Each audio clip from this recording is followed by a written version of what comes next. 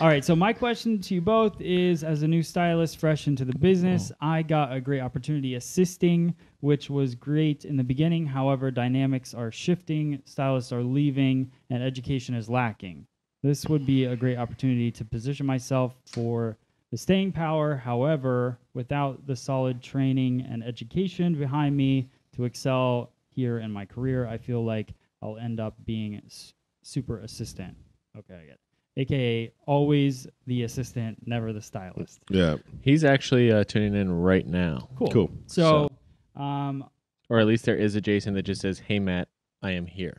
so hopefully it's the same Jason that Yeah. you just read off of. I'm assuming, but you know what they say about assuming. okay, so um, do you want to go? You can go. Yeah, I'll go first. You know, my thought. Okay, when I first read that this morning, I was actually a little grumpy. Um, and it wasn't grumpy at Jason. I was actually grumpy at, at the people that are probably his mentors. Yeah. I feel like uh, I feel like really the problem is not necessarily mentors, but it's also a lot of times the the assistant or the apprentice.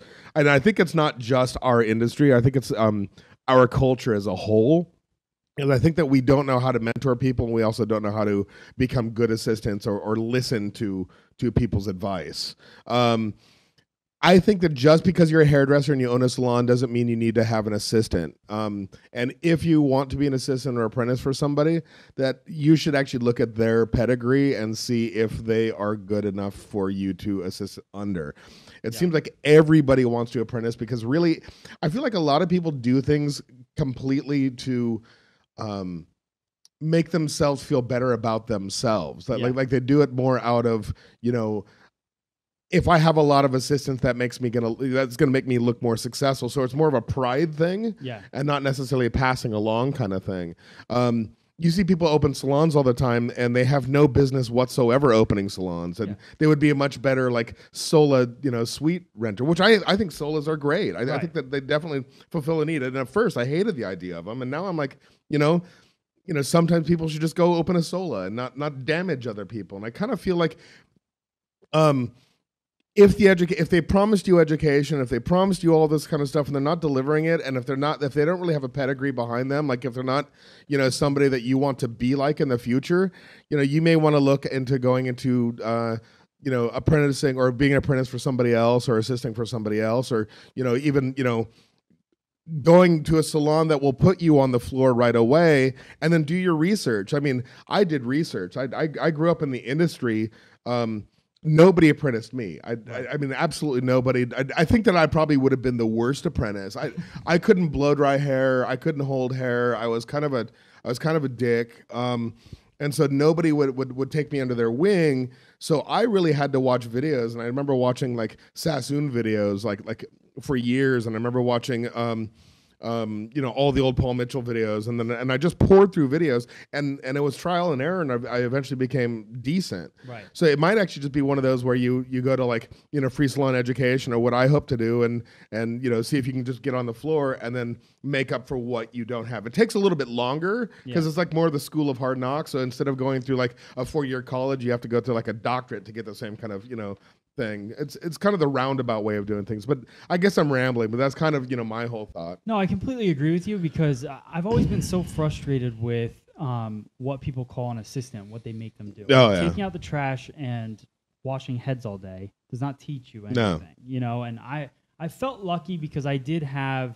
Um, we talked about Sam Burns. Yeah, um, yeah. You know, he, Great man. he I think his lack of wanting to do some certain things like blow drying and all of those things, I did all of it. So basically start to finish, I was either holding hair with mm-hmm. him or blow drying for him and he was standing there telling me what was wrong, and what mm-hmm. was right.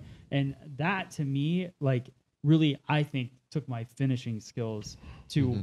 you know to where they were. And then from that point on, but like if you a lot of salons have shampoo people. Yeah. Like if you're a, a shampoo person, that doesn't make you better at what you do. So I think I think you're right. I think that, that you need to because like in our salon we don't have assistants. We don't have right? assistants, no. And um, whether they like it or not, it I think it makes you more attentive to your Yeah, guest. yeah. And I found when you do have an assistant, it's usually um, you send the assistant to do the things you don't want to do, and then you sit on your ass and be lazy Yeah, the yeah, whole time. yeah. So you know, I've never really been. I get that there's a time and place for assistants, um, but only if they're really helping you Yeah. with the work.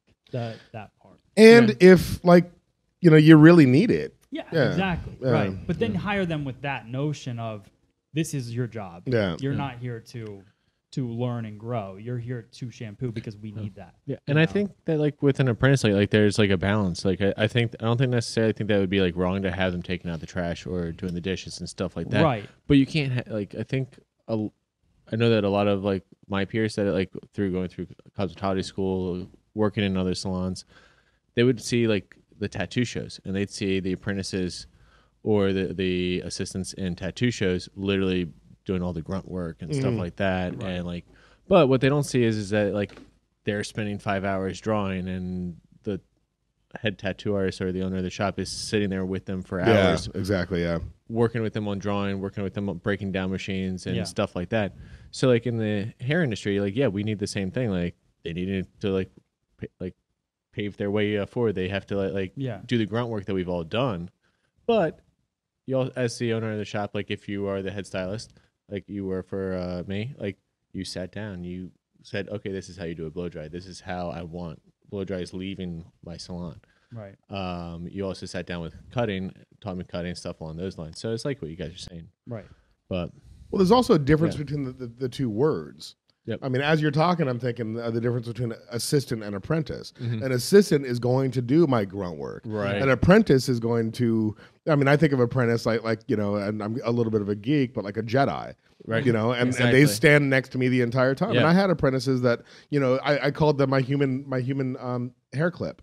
You know, because they would stand next to me and hold my sections for me because I didn't want to get wrinkles with a regular clip, Mm-hmm. and so they'd hold it, and then they were able to cut hair just by watching. Yep. You know, and there's there's um the the whole Sassoon. I know Sassoon has that whole program called uh uh the Varder program, which Varder means to watch, um, and that's really their like apprentice program.